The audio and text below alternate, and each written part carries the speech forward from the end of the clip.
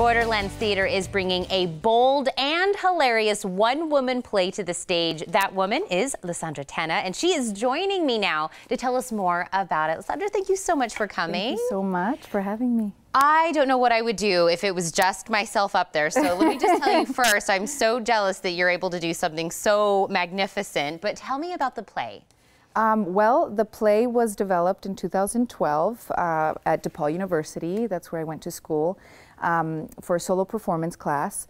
And then I have been, it, I think of it as it being in development since. So I've had it since 2012. I've performed it in New Mexico. I toured it there, have done it in Chicago. And um, basically, the show is structured as a menu at a restaurant. Oh. Yeah. Um, unlike many shows, they're they're structured very differently.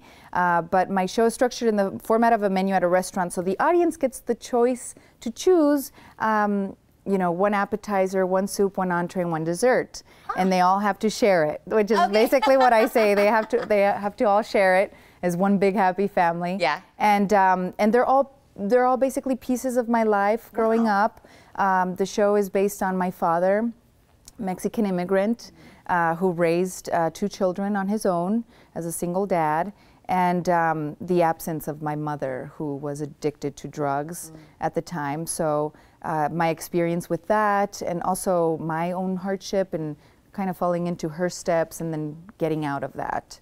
So that's what the show is about. So that's kind of yeah. the base. Yes. Uh, yeah. And so when you say the, the, audience kind of chooses, how do they interact then? Uh, so uh, it's very interactive play. Um, I explain it all at the beginning uh, how it works, uh -huh. how we're going to do this, and basically, you know, we order. I, I, have them order an appetizer, and then I go and go get that appetizer for them, and then I come back, and then we move on to the next, and so it's basically like a four-course meal. Oh my goodness! throughout.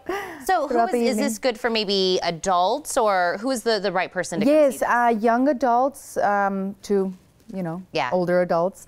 Um, I would say roughly 14, 14 and up.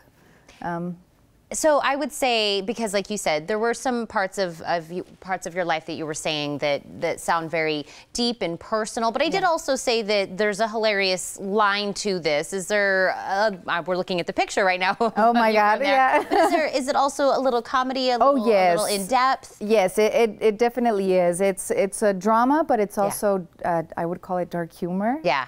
Uh, there's yes, I I have found a way to balance that out so that it's not completely heavy and yeah. destructive, I yeah. guess, or destroying to the soul. No, it should be uplifting and uh, inspirational and motivating, and which is the response that I have received yeah. from my audiences in the past.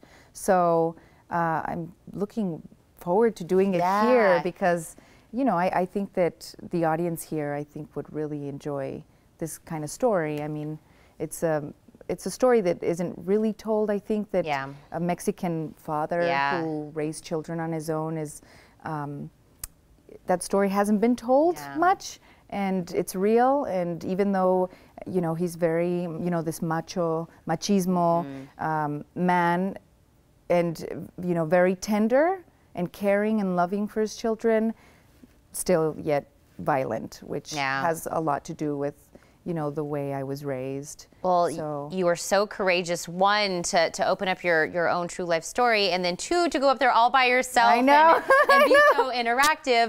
But I'm going to let everybody know when this is taking place and how they can get the tickets. But thank you so much for coming. Yes, thank oh. you. Now, you can catch Lisandra in the One Woman Show starting this Wednesday. The show runs all the way through February 12th. To get a full schedule of the performances, visit borderlandstheater.org, or you can also call 882 7406 for more information.